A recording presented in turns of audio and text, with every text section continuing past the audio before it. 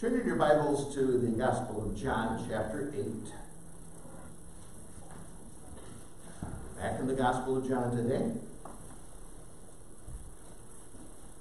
Begin chapter 8. Now, I debated on whether to deal with this or just ignore it, and I thought as it's printed in almost all of our Bibles, I should address it. I want to address a textual note. In the ESV, it's put between chapters 7 and 8. And uh, any version later than the King James has something like this. It says uh, in my Bible, the earliest manuscripts do not include chapter 7, verse 53 through chapter 8, verse 11. Now, in case you don't know what a manuscript is, it's something handwritten. Manu, hand, script, written. So what the text is, or what the note is saying, is that the earliest handwritten copies of the Greek New Testament that have survived, most of them have not, as you can imagine, Bibles wear out, especially in days when they were much more rare than they are now. Uh, the oldest handwritten copies don't have these verses. Up until about 600 years ago, when movable type printing was invented, everything had to be handwritten. Every copy of the scriptures had to be copied out by hand. From the time of Moses, God's people have been diligent in doing just that and doing it well. God is a God who speaks. He is a communicator. We know God because he communicates with people. As Francis Schaeffer said, he is there and he is not silent. He spoke to Adam. He spoke to Abraham. He spoke to Moses from the burning bush. that was a surprise. One day, God told Moses, write it down in a book. And God's people have been people of the book ever since. Joshua was told to meditate on the Word of God every day, every night. Israel was told to have the Word of God read to them every seven years. Every seven years, get everybody together, we're going to read it through.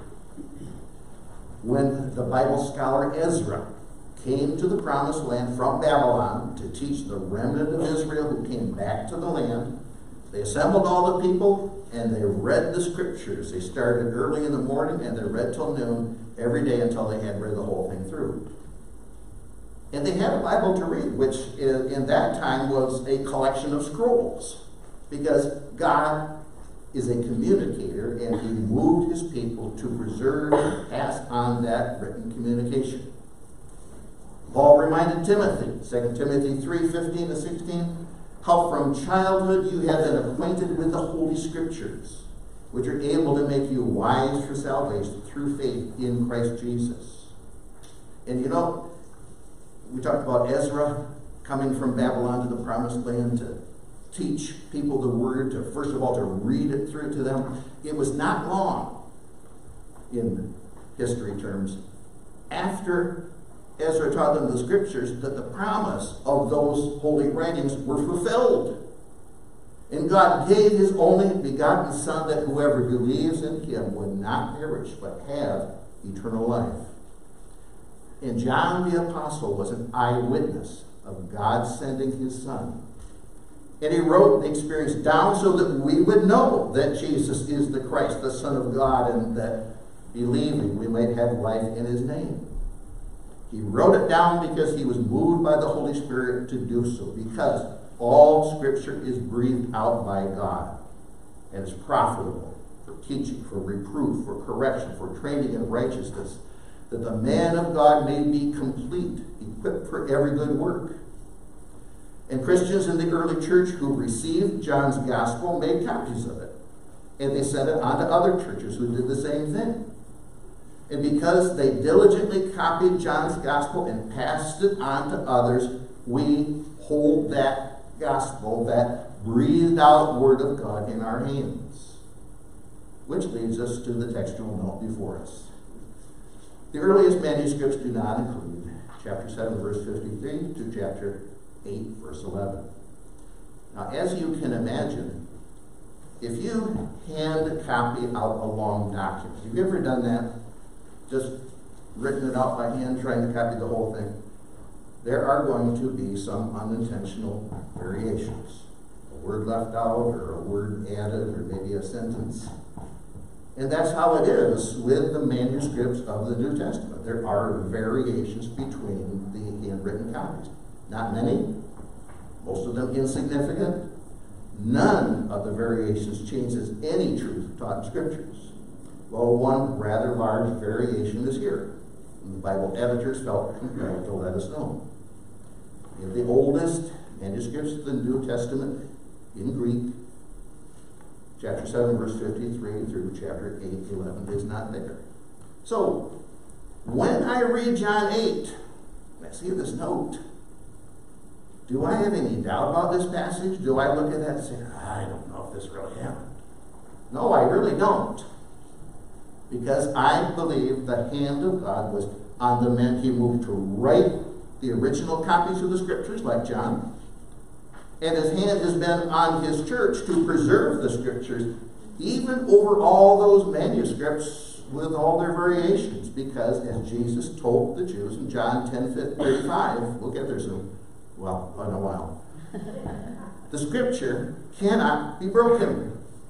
It is inspired, infallible, and authoritative. And with all due respect to the editors that printed and published my copy of the Bible, this note here does not tell the whole story of this passage. So, when I see something like that, I, I want some scholarly information from a well studied person who loves the Lord and is highly respected. So, my go to guy for scholarly information in the gospel is Dr. William Hendriksen, who used to teach in Grand Rapids a generation, or maybe it's two generations ago now, but and he, gives a, a, very good explanation, and I'm, I thought about just reading it to you, but I, I'm going to just distill it down to short sentences. What does he say about this passage? Well, first, he points out it absolutely fits right here where it is. If you stop at chapter 7, verse 52, and you jumped to chapter 8, verse 12, that it just completely interrupts the flow. That's very awkward. Second, he points out that our Lord, as he's pictured here, is absolutely in character. It fits not just the rest of what John wrote, but all four of the Gospels. He is the same as he is. Scribes and Pharisees, too. And if this were, as some would suggest, made up by somebody else and just inserted here, there would be differences, but there's not. Third, he points out the testimony of the early church fathers. Now, I'm not talking about guys like Ricky who just had a baby in his family. The church fathers is a term that scholars use to describe the pastors of the churches in the early centuries after the apostles. And many of their sermons and writings have been preserved. In fact, for several hundred dollars, you can buy a whole set of what the church fathers wrote that has been passed down to us. Years ago, I thought, oh, I wonder if I should spend the money. I, think it was about $400 back about 30 years ago. But I hate to think what it costs now. I didn't. But an early church father named Papias. See, how early was he? Well, he was a disciple of the Apostle John. And you can read it in the early church fathers collection. He preached an exposition on this story. So, right back to the time of the Apostle John, this story existed and was being preached on. And Augustine, another church father, you know, he, Augustine's quite famous, so a lot of people quote Augustine. He's, he said a lot of great things. Some of them weren't so great, but he was a great guy. But he makes the statement that some church leaders removed this story from their gospels. Why did it took something out of the Bible? Yes, they did, he said. Because they were afraid that it would give readers an excuse to sin. if they read about an adulteress being forgiven, we can't have that in the Bible, so they took it out. So, to distill down Dr. Hendriksen's scholarly conclusion, basically he said, preach it. It's true. So that's what we're going to do. Let's look to the inspired, written Word of God. At the end of chapter 7, Jesus, who had, you remember, been mostly ministering in Galilee because things were getting hot in Jerusalem. The Jews were planning to kill him. But we saw that in chapter 7, he came to Jerusalem for the Feast of Booths. Now, he came unexpectedly, remember, in kind of the middle of the week, and they were not prepared for him. They could not arrest him. During the feast, he said things that, well, that confused the people and further angered the leaders, and they sent temple guard officers to arrest him. But they couldn't do it. Jesus' words arrested them. And when the officers get back, the council who sent it, well, where is he? He says, no, no one ever spoke like this man. He's idiots. And Nicodemus, remember Nicodemus from chapter 3 that came to see Jesus by night? He was a respected member of the council. He speaks up and he says, Well, shouldn't, shouldn't we give Jesus a fair hearing? You know, the Jews were big on that. Everybody gets a fair hearing. That they're, as a society, they're very different than the Gentiles that way. Unless, of course, you were interfering with the power of the bigwigs, and then things can slide. So they ridicule Nicodemus. You from Galilee too? What's the matter with you? You're one of those despised, no account Galileans? Search and see that no prophet arises from Galilee. I think Nicodemus did search. I think he already knew probably that Jonah was from Galilee and Elijah and Nahum. I think he's been searching. And he was coming to the conclusion that Jesus was the Christ, the Son of God. Very soon, he will step out of the shadows and take his stand for Jesus, whatever the consequences. Well, the meeting broke up in division, with most of them determined that they were going to put a stop to Jesus of Nazareth. So, last verse of chapter 7. They went each to his own house, and going on into chapter 8. But Jesus went to the Mount of Olives. Early in the morning, he came again to the temple all the people came to him. They, they kept on coming in a steady stream, is how Dr. Weiss renders it. And he sat down and he taught them. They could not get enough of him. The, the Feast of Booths is over, and a lot of people are going home, but there are many pilgrims still in the city, and Jesus has compassion on them, and he stays to teach them. So the leaders know just where he is, but they can't take action because many of the people think he's the, just the greatest, and the leaders cannot afford to have a riot take place. But if they can just catch him doing or saying something that people think is wrong, problem solved, call out the guard, arrest him, or better yet, get the people so angry that they pick up stones and kill Jesus themselves. That would be the best of all. In fact, when we get to the end of the chapter, that's exactly what happens. Now, it doesn't work. Because did you know that you can never do anything to change the plan of God? You knew that. You're good Bible scholars. John often observes Jesus' hour had not come plan of God was that he die at the Passover. That's going to take place in about six months from this time. At the Passover, when all the Passover lambs are sacrificed, because he is the Lamb of God who takes away the sin of the world. So it's not the hour, but it's building up to that point. The whole history of the world is building up to it. Peter later will tell the Jewish leaders in Acts chapter 2 this man delivered over by the predetermined plan and foreknowledge of God, you nailed to a cross by the hands of godless men and put him to death. God planned it to save sinners, they planned it to hold on to their wealth and their power. guess who wins? So here's what they do Jesus is sitting in the temple, teaching the people truth that will set them free if they'll only believe.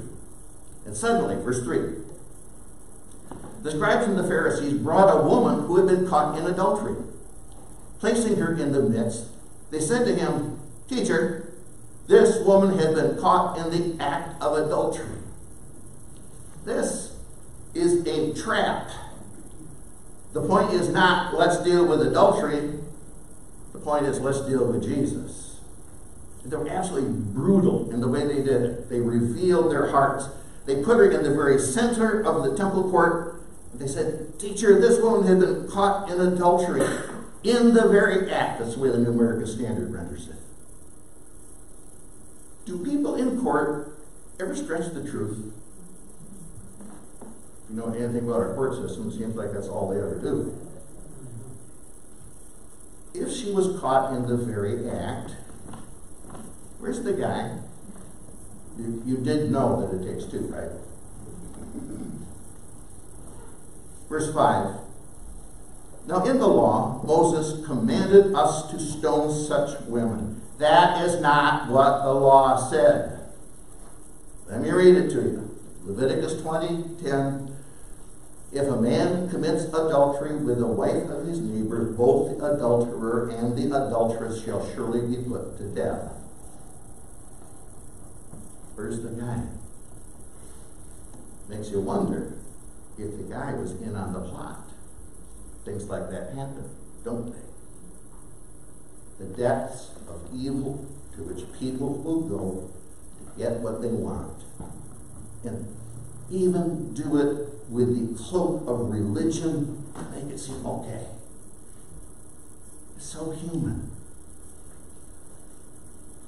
People often say, oh, that's inhuman. Well, usually, no, it's very human. so human. But no one will get away with it. Isn't it frustrating when people get away with things? One of the things you learn in reading the scriptures is that no one gets away with anything. Every single deed will be accounted for before God. Revelation 20, verse 12. John, who's writing this gospel, sees this in his vision. And I saw the dead, great and small, all of them. Rich don't get away with it great and small, standing before the throne. And books were opened. Then another book was opened, which is the book of life. And the dead were judged by what is written in the books according to what they had done. Nobody gets away with anything, including the guy. It's all in the books. If that's where the story ended, we would all be in trouble. Don't you agree? We would all be in trouble. But there is another book, which is the book of life. Jesus came that that book might exist. He came that there would be a redeemed people, a people whose sins have been paid for, the debt canceled, the justice of God satisfied. For the wages of sin is death, but the free gift of God is eternal life in Christ Jesus our Lord. Every one of those people who have been joined to Jesus Christ in new life have their names written down in the book of life forever. And every one of those people are secure in Him. But these Jewish leaders, the scribes and the Pharisees, they, they had no concept of that. The scribes, they, they were the experts in the law of Moses. They're all studied up in everything the law said. The Pharisees were, were they weren't necessarily educated people, a lot of them were. What, they, they were kind of a club of Jews who thought they were really good at keeping the law proud of it. To them, the law was not God's tool to show them how desperately they needed a Savior. To them, the law was a tool for them to use to get what they want to make themselves look good. Continuing verse 5. The law says, stone women like this. So, what do you say? And John reveals a plot, verse 6. This they said to test him, that they might have some charge to bring against him. Not to obey God, but to get what they want. They thought they had him. If he says, stone her, that's what the law says. What's going to happen to his followers? I mean, this, this is the man who's called the friend of crooked tax collectors and sinners. He talks about grace and forgiveness. If he says stone her, then he's just one more empty talker. And the people will be done with him. But if he says, let her go, then he's openly breaking the law. And we can arrest him and kill him, and nobody can say boo. But just like when they sent the officers to arrest him, they were not in control of the situation. Jesus was. Jesus is always in control, and he still is. Instead of passing judgment on the woman, Jesus passed judgment on the judges. Last half of verse 6. Jesus bent down and wrote with his finger in the ground. What did he write? Well, John doesn't say. Let me quote Dr. Wiersbe. He's always good to quote. We do not know what he wrote on the dirt floor of the temple court. Was he simply reminding them that the Ten Commandments had been originally written by the finger of God and that he is God? Or was he perhaps reminding them of the warning in Jeremiah 17 13? O Lord, the hope of Israel, all who forsake you shall be put to shame. Those who turn away from you shall be written in the earth, for they have forsaken the Lord, the fountain of living water. Whatever he wrote, things were not going according to plan. So they continue asking and asking. That's the tense of, of the verb. As they continued to ask him, he stood up and said to them, Let him who is without sin among you be the first to throw a stone at her. And once more he bent down and wrote on the ground. Now, these men, at least the scribes, had studied the law of Moses.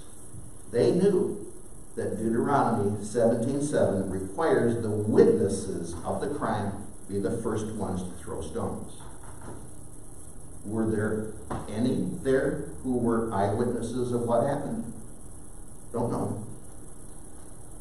But every man there was a witness of the sin of adultery taking place in his own heart. In the Sermon on the Mount, Jesus had taken apart the shallow use of the law that they were used to.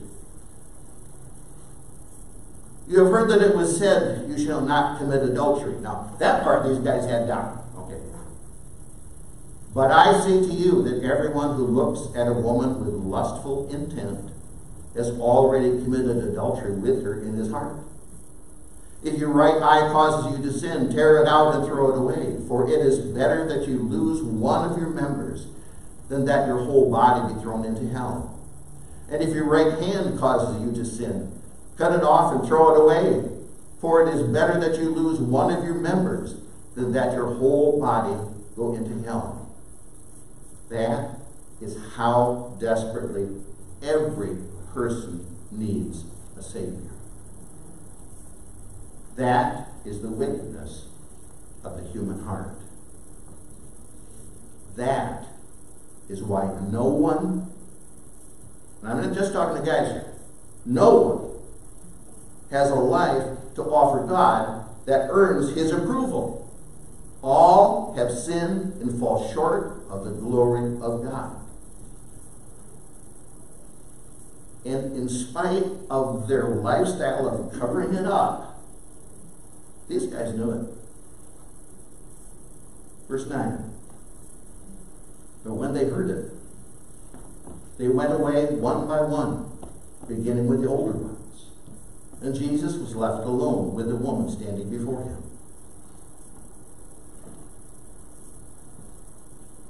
Don't miss the fact that that's where we all are, standing before Jesus. People can accuse us, and sometimes rightly so. But all of that's temporary. Every man, woman, and child will one day stand before the eternal judge. And the judge will be Jesus. We saw that in chapter 5. He said the Father judges no one, but has given all judgment to the Son. Who will sit on that great white throne when the dead, great and small, are judged by what's written in the books according to what they have done? Jesus Christ is the one sitting on that throne. So, what does he say? The one who will be sitting on that terrifying throne. What does he say to this guilty woman? Verse 10. Jesus stood up and said to her, Woman, now we, we mentioned this back in chapter 2. The, the term woman is a common way of addressing ladies in that day. Today we would say ma'am. Okay? So, not woman, where are you? That's, that's not what they say. Ma'am, where are they? Has no one condemned you? She said, No one, Lord. People can condemn. And they do.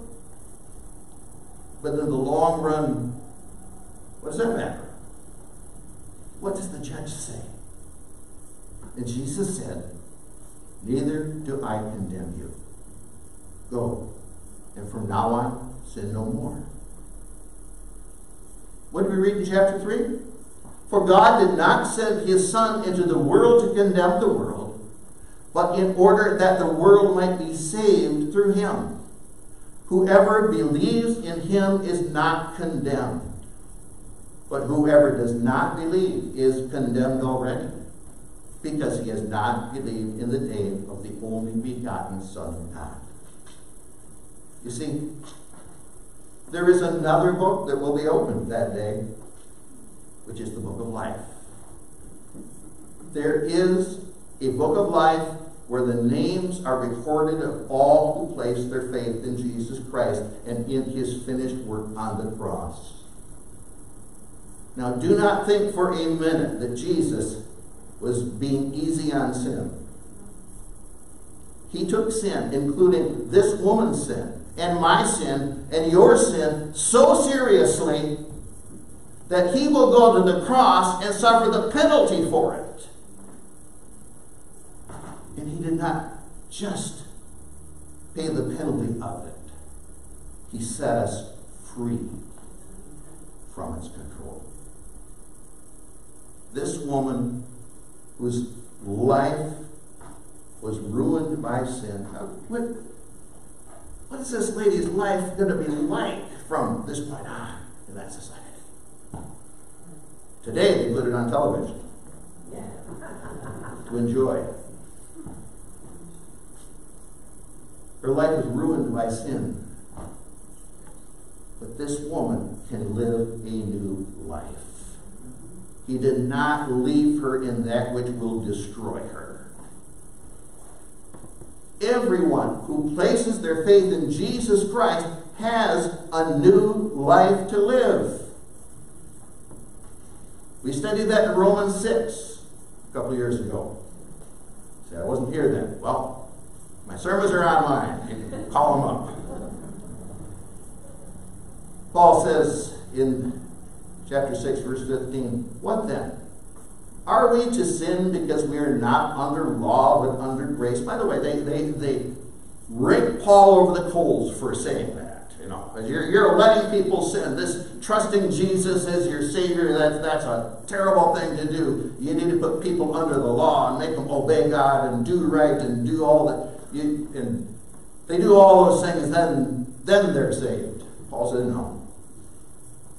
We're not under law, but under grace. So are we to sin? By no means. Do you not know that if you present yourselves to anyone as obedient slaves, you are slaves of the one whom you obey, either of sin, which leads to death, or of obedience, which leads to righteousness? But thanks be to God that you who were once slaves of sin have become obedient from the heart to that standard of teaching to which you were committed, and having been set free from sin, have become slaves of righteousness. That is what it is to be a Christian. You see, what's a Christian? That's somebody who used to be a slave to sin, now they're a slave to righteousness. No more, no less. Why do born again Christians? And we could go on for a whole sermon series on that. We're, going to to stick with the Gospel of John, but let's just, you know, obvious question. Why do born again Christians still struggle with sin? Because, as we studied in Romans, we need to be transformed by the renewing of our minds and constantly consider ourselves dead to sin and alive to God in Christ Jesus. Because that is what Christians are. It's a whole new mindset. But again, that's another sermon. We're not told what the woman did here.